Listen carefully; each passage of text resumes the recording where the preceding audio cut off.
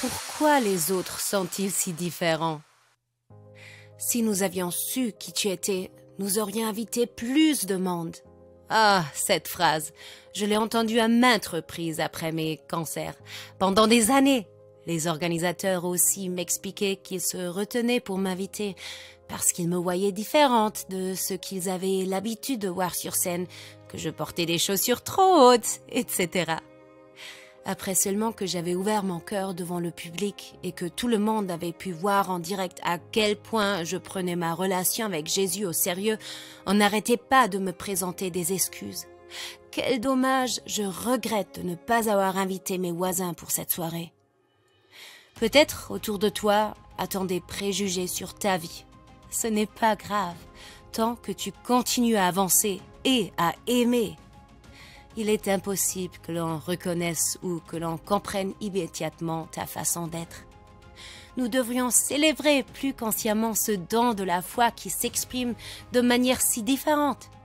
De même que Dieu a créé chaque être humain de manière différente, il a également une relation différente avec chacun d'entre eux, ce qui lui permet d'atteindre tant d'êtres humains si différents les uns des autres. Chaque être humain tel qu'il est a besoin de toi tel que tu es. L'histoire ne fait que se répéter. Repensons à Abraham, qui avait caché au roi Abimelech que Sarah était déjà mariée avec lui. Quelle humiliation lorsque le fait ait finalement été découvert, après qu'Abimelech l'ait également épousée. Quel drame Abimelech continue. Qu'est-ce que tu cherchais en agissant de cette façon? Genèse 20, 10. Oui, c'est une très bonne question. Abraham répond, J'ai pensé, les gens d'ici n'ont aucun respect pour Dieu. Genèse 20, 11.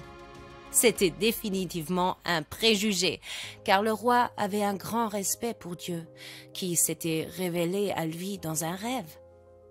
Au travers de ce message, apprenons aujourd'hui à aimer et à respecter chaque personne dans sa manière d'être et dans sa façon individuelle de manifester sa foi en Dieu. Car ce n'est qu'ensemble que nous ferons la différence dans ce monde. Et pour cela, il y a besoin de chacun de nous. Tu es un miracle.